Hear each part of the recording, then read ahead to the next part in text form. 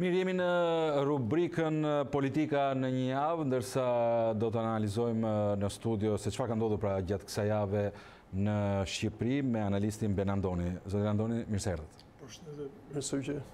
Atëherë, zoti Andoni, do ta nisja në fakt me lajmin e ditës së sotme për sekuestron preventive të dy vilave të të afërmve të ish-zëvendëskryeministrit Arben Ahmetaj. Duket se u nis hetimi për inceneratorët në fillim, ndërsa nën akuzë të paktën në këto momente zoti Ahmetaj është për shpërdorim detyre, korrupsion, pastrim parash dhe përfitime të paligjshme. Si do ta komentonit këto ngjarje ditë pas dite? Qartë, duket e pritshme, është pak e vonuar dhe duket që SPAK-u ka punuar në mënyrë thelbësore për t'i shkuar çështjes deri në fund.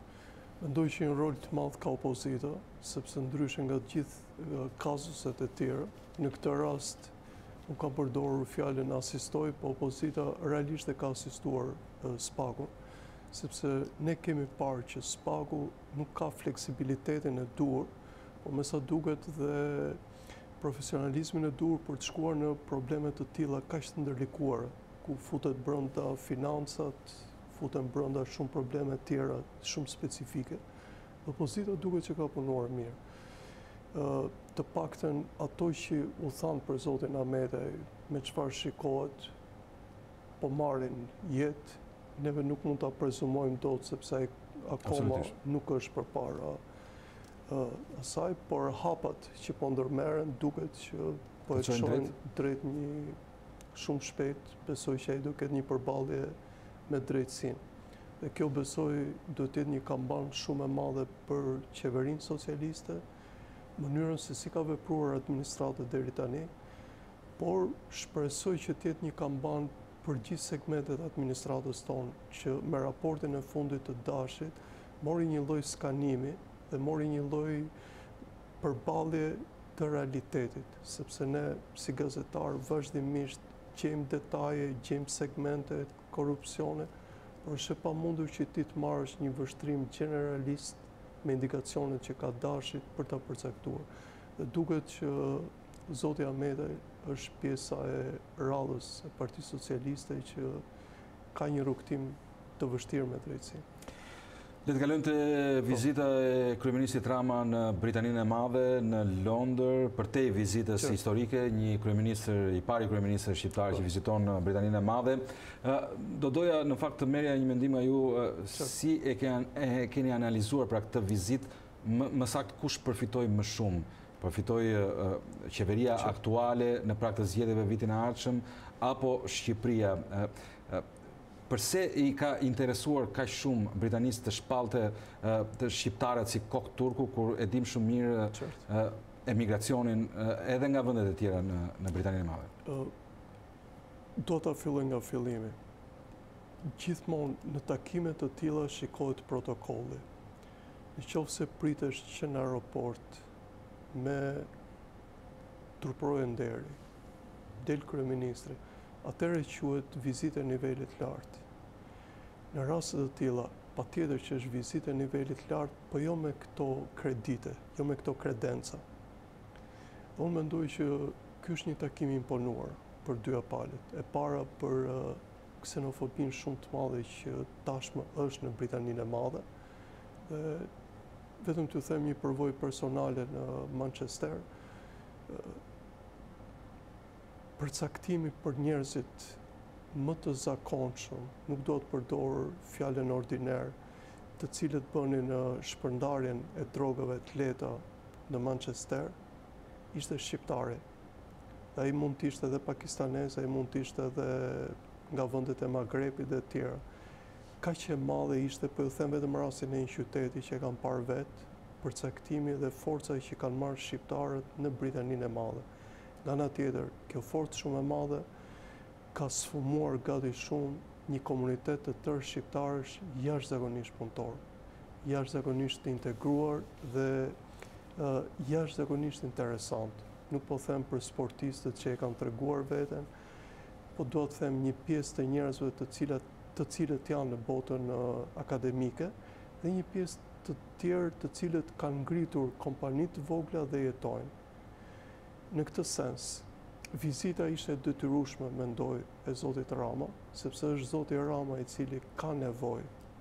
Në rast të kundër do ishte kryeministri i ri anglez do vinte në në Shqipëri dhe në një farë mënyre përtej ksenofobisë, unë mendoj se është menduar realisht për të ardhmen e fatit të botës së krimit shqiptar ose të themi të botës së të ndaluarve shqiptar atje, ju e dini që na kërcënon Ruanda të gjithëve për shkak sepse ka kaluar dhe në ka kaluar dhe ligji përkatës, paçka se i kritikuar. Absolutisht.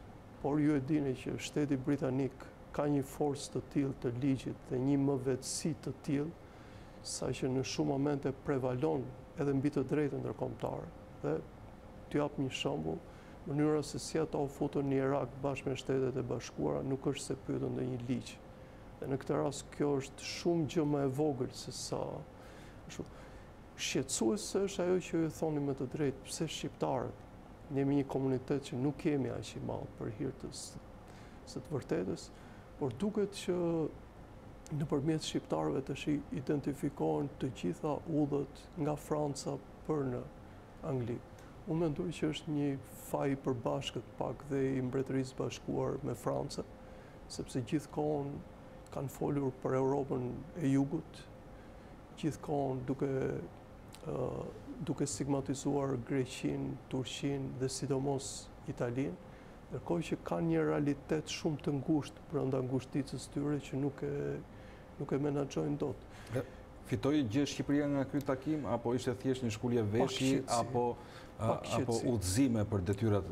Pak qetësi. Pak qetësi. Pak qetësi dhe diçka tjetër ju e dini që Mbretëria e Bashkuar për fatin e madh është një nga lobueset më të mira të Kosovës dhe ky është një fat shumë i madh për ne. sepse falë tyre dhe Shteteve të Bashkuara ndodhi ajo që ndodhi në Angli, madje ju e dini që marrëveshjen e Kumanovës në kuadër të NATO-s e ka firmosur gjeneral britanik.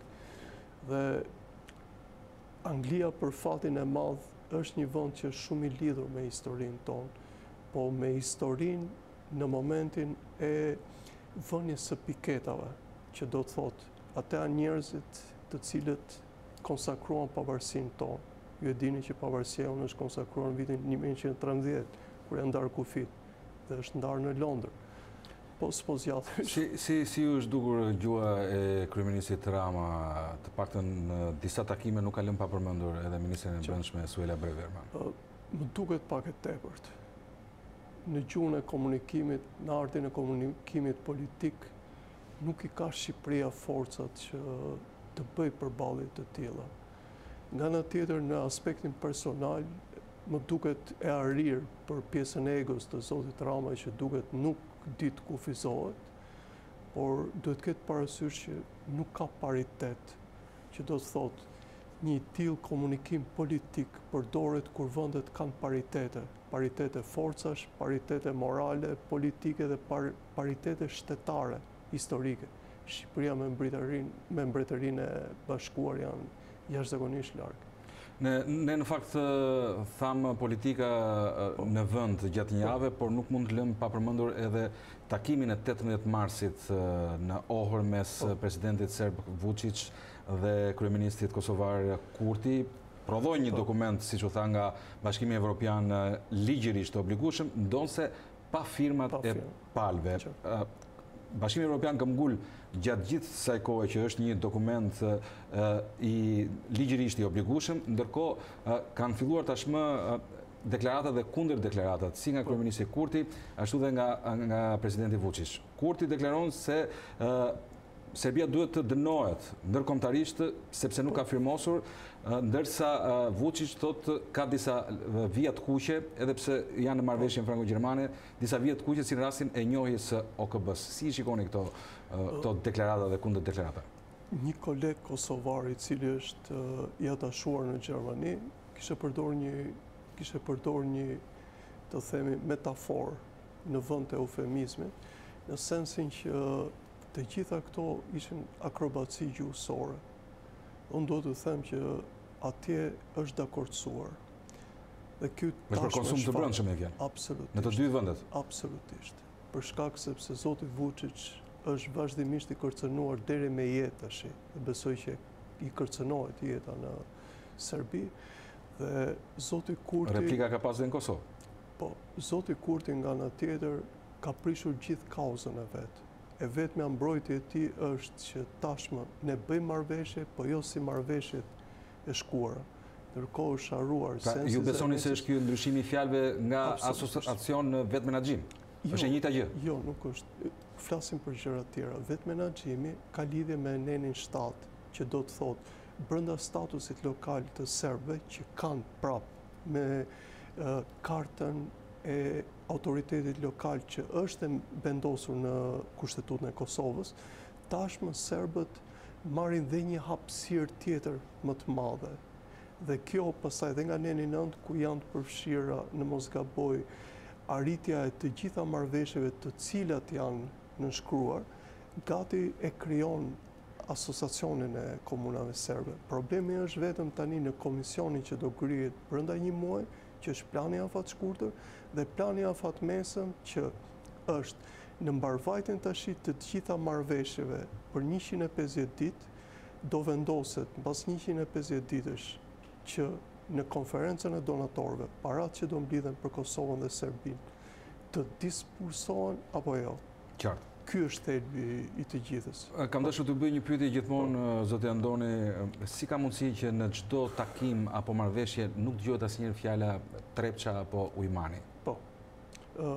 Ujmani është kaluar në këtë moment për shkak sepse dy vendet kanë gjetur gjuhën teknike për të jetuar me këtë realitet. Ju e dini që Ujmani furnizon Edhe zbutësat e termove që janë atje, po merret edhe me ujin e pijshëm, ka dhe atribute të tjera. Ndërkohë që Serbia këmbëngul për Ujmanin sepse Serbia ka marrë gjithë trashëgiminë e ish-federatës, qoftë borxhet, qoftë të tjera. Kjo tashmë është kaluar nëpërmjet komisioneve reciproke. Ndërsa keni të drejtë për Trepçën, unë mendoj që është një temë tjetër, për shkak sepse Trepçës absolutisht i kanë lënë një status fare të ndërmjetëm, që me çfarë duket në të ardhmen do bëhet subjekt i shumë ndërfutjeve ndërkombëtare, ku unë besoj që Kosova me Serbinë të dyja do ngelin me gishtin në gojë. Rikthehemi përsëri në vend, një tjetër lajm i pak minuta më parë, sot zoti Enkelejd Alibeaj mblodhi kryesinë dhe grupin parlamentar të Partisë Demokratike, siç e dini po mbarojnë afatet e regjistrimit të kandidatëve për 14 maj, nuk ka pasur një vendim. Ajo që duket e qartë tashmë, kemi një ndarje përfundimisht, një ndarje zyrtare të palëve të Partisë Demokratike, e përmendi në orët e drekës edhe zoti Berisha që në 14 maj ndajemi nga Alibeaj dhe Basha. Si e shikoni pra këtë situatën te Partia Demokratike? Absolutisht të dhimshme, jo që nuk e dinim, jo që nuk e kemi ndjerë dhe madje këtu ke ju kemi folur disa herë për këtë realitet, por është e dhimshme që përballë një qeverie e cila po përballet me skandale njëra pas tjetrës, me një lloj arrogance të jashtëzakonshme, vjen momenti që dhe në këtë realitet nuk bashkohet një parti, ky është besoj një paradoks shumë i madh që vetëm ndarja jep zgjidhje. Nga ana tjetër, më duket krejt e paarsyeshme nga pjesa e grupit Alibeaj, përveç legalitetit që kanë, që kanë harxhuar kaq shumë kohë dhe po vendosin gati gjashtë javë përpara zgjedhjeve, nuk kanë vendosur akoma njeriun që do i përfaqësojë ata për Tiranën dhe për disa rrethe, po që akoma janë të paqartë, do përpiqen për këshillat bashkiakë apo do përpiqen për kandidatët për kryetar bashkie. Dhe kjo një farë mënyre tregon, jo një lloj papjekurie, por një lloj dëmi shumë të madh që i kanë sjellë Partisë Demokratike. Megjithatë interesant është fakti, nuk e gjejnë dot gjuhën e përbashkët, por në tre bashki, strukturat kanë vendosur të dalin dhe me kandidatë të përbashkët, Devoll, Divjakë dhe Has. Po. Si ka mundësi? Po, kjo sepse duket që ka filluar një lloj Në bazë ka filluar një lloj perceptimi që e keqja më e madhe është pushteti që është në fuqi dhe normalisht duhet që të mbrojnë pushtetin lokal. Pushteti lokal është pushteti i përditshëm ku ti ke të bësh që të zgjidhësh gjërat e përditshme dhe komunitetet tash janë kaq të vogla, qytetet tona janë kaq të vogla sa duket që pragmatizmi ka shkuar mbi përçarjen e Tiranës. Në qytetet që ju thatë, që janë lokalitete të vogla si, Devolli, Pogradeci, dhe Hasi, janë jashtëzakonisht të vegjël, janë shumë larg Tiranës. Dhe... Absolutisht, dhe nuk perceptohet, ose shikohet gati në mënyrë folklorike përçarja e Tiranës. Domethënë njerëz që të vinë për fushatë me Range Rover dhe me kështu, Nuk mund t'i thotë gjë atij njeriut që e lufton të përditshmen me dyqind lekë të reja. Dhe me gjithë këto probleme, për ta mbyllur me gjithë këto probleme të opozitës, si e shikoni hartën pas katërmbëdhjetë majit? Po shikoj prapë që kanë një prioritet të majtët. Di të them vetëm këtë që besoj numri i zgjedhësve do jetë më i pakët se sa në zgjedhjet e kaluara dhe shpresoj... Edhe këta janë zgjedhësit e opozitës të zhgënjyer apo të pozitës? Jo, unë besoj që do jenë të dy. Është zona gri tashmë shumë e madhe ke Partia Demokratike, po është dhe një zonë besoj ke Partia Socialiste që nuk i bën më përshtypje asgjë. Zoti Andoni, ju falenderoj që ishit pjesë e ditarit të orës 19. Faleminderit juve.